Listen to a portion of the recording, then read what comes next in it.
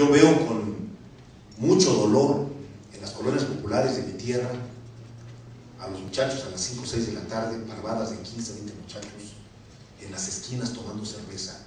No hay trabajo, no hay escuela, no hay ingreso.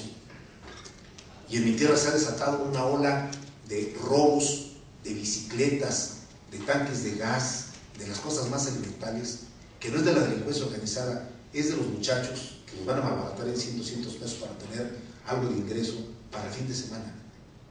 Hay un problema social ahí serio que tenemos que atender.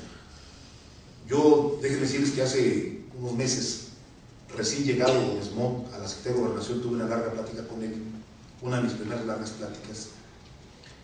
Y buscando salidas le dije, oye secretario, si de verdad quieren enfrentar el tema de la delincuencia, ¿por qué no le propones al presidente que lance una ofensiva con las universidades privadas y públicas del país? Una especie de censo de seguridad. ¿Cómo es eso? ¿En qué estás pensando? No vamos a poder ubicar dónde están los focos rojos si no, si no diagnosticamos cómo están las familias. ¿Por qué no lanzamos una ofensiva para casa por casa? Levantemos un censo de cómo está esa familia. ¿Cuántos miembros tiene?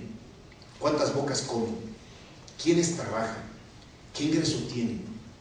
¿A qué se dedican los muchachos? ¿Quiénes viven con ellos? ¿La abuelita, la tía, los muchachos huérfanos de una hermana ¿Quiénes están ahí? Y que tengamos un panorama de la realidad social por domicilio en las comunidades y en la ciudad. ¿Cuántos tenemos casas sin padre, con hijos abandonados o con padres en Estados Unidos? ¿Cuáles ya no reciben dólares? ¿Cuáles sí? Para que focalicemos los programas sociales, no como un gran disparo al aire, sino que vayamos a atender directamente a las familias. Que el gobierno se haga cargo de una generación de muchachos para sacarlos de su casa a estudiar con una beca, con un ingreso. Que focalicemos a tiro preciso, porque se nos está yendo una generación de muchachos al narcotráfico y a la delincuencia. Pues, ¿por qué no nos separamos al 2010? Dije en el censo económico. Dije, no, no, secretario, ya. Hay que desatar fuerzas sociales que enfrenten el tema.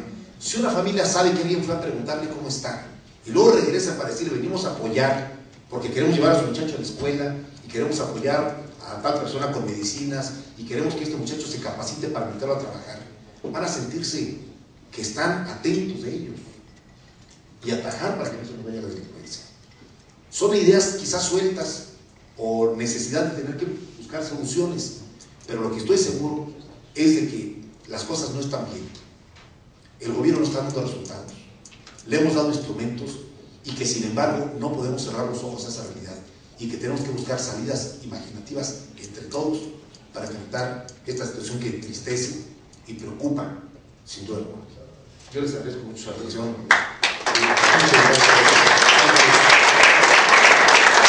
Bueno, yo, yo nada más un comentario rápido, sé que tienes que creo que es fundamental. Primero, pues, por supuesto que aceptamos la invitación y es en doble vía, ¿no? Pero yo creo que aquí, más que allá de, del diálogo, de, de las buenas intenciones, yo creo que lo que tenemos que ir más al fondo, tenemos que hacer un compromiso real por el país.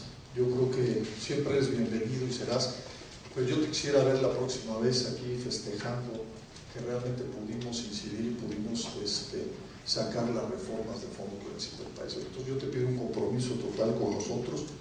Hay que trabajar por el país, hay que trabajar en las reformas. Tenemos dos meses para hacer la propuesta y cuatro meses para sacar.